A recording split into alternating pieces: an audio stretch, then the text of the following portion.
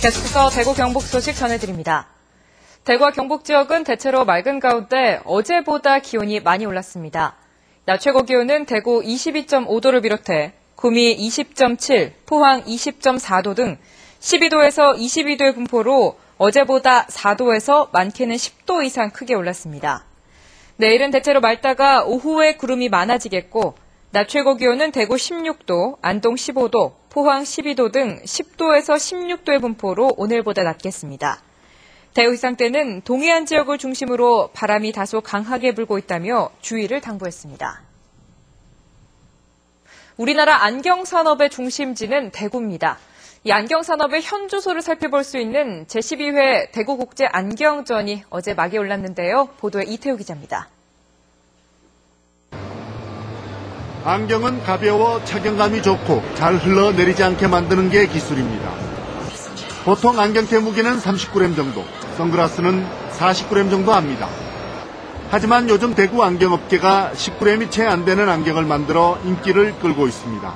금속 테이면서도 이렇게 굉장히 플렉시블한 이런 장점들을 가지고 있습니다. 또 금속 테이면서 굉장히 가벼운 장점을 또 가지고 있습니다. 그래서 착용을 했을 때 굉장히 편하고 가볍고 어, 디자인이 아주 심플해서 올해로 12회째를 맞는 대구국제 안경전에는 국내외 210개사에서 620개 부스를 마련했습니다. 국내외 바이어에게 한국 안경 산업의 기술력을 보여줌으로써 새로운 시장을 발굴하는 계기가 될 것으로 기대됩니다. 우리나라 안경테 수출은 중국과 이탈리아에 이어서 세계 3위, 지난해 1억 5천만 달러치를 수출했습니다. 2015년까지 이태리를 넘어보자고 지금 일치 단계에서 제조업체하고 열심히 개발하고 노력하고 있습니다. 중국과 일본의 최대 안경 체인 업체를 비롯해 구매력이 큰 바이어들이 대거 참여해 어느 해보다 주목을 받고 있습니다. 우리나라에서 생산되는 안경은 거의 모두가 대구에서 만든 것입니다. 대구 안경 산업의 현 주소를 확인할 수 있는 대구 국제 안경전은 오는 19일까지 계속됩니다. MBC 뉴스 이태호입니다.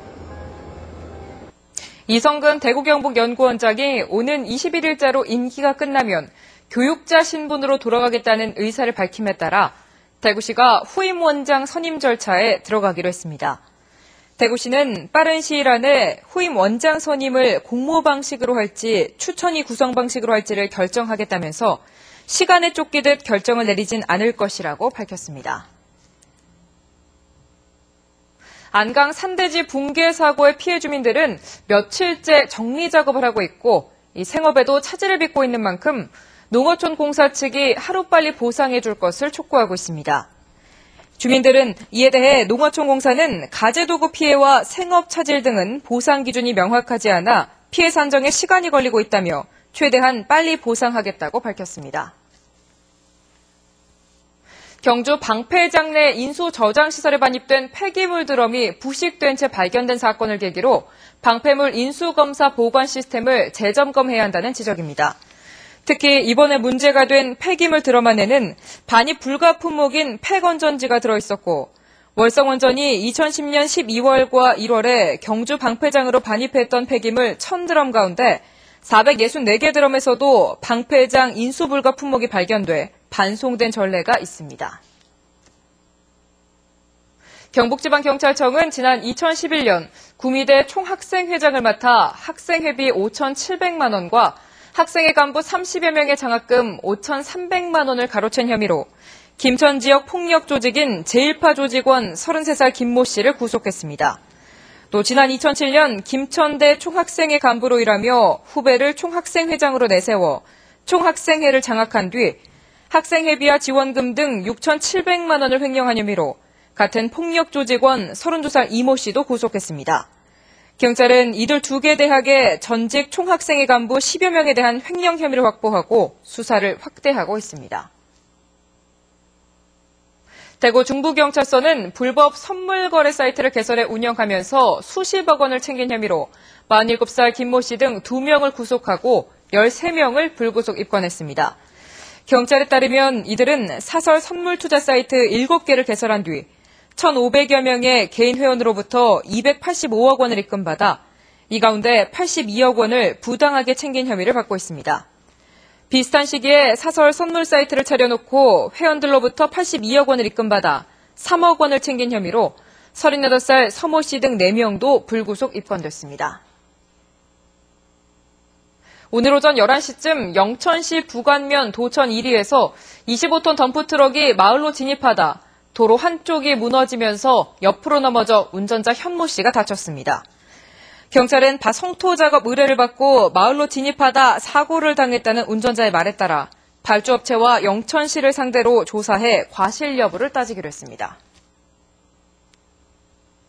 제33회 장애인의 날 기념 행사가 장애인과 가족, 자원봉사자 등 3천여 명이 모인 가운데 대구 시민체육관에서 열렸습니다. 4월 20일 장애인의 날 앞두고 마련된 이번 행사에는 장애인과 그 가족들에게 건강검진과 직업 상담, 보장구 수리 등의 서비스 제공이 이루어졌습니다. 또 장애인의 권리를 높이는 데 기여한 장애인과 자원봉사자 등 50여 명이 상을 받았습니다. 제56회 보화상 시상식에서 올해 보화상에는 어려운 가정 형편 속에서도 간암에 걸린 시어머니에게 자신의 간을 기증한 울진군 근남면의 34살 이혜순 씨가 선정됐습니다.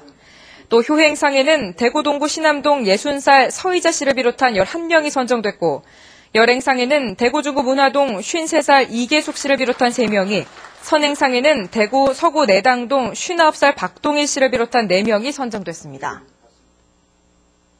대구 경북 소식이었습니다. 고맙습니다.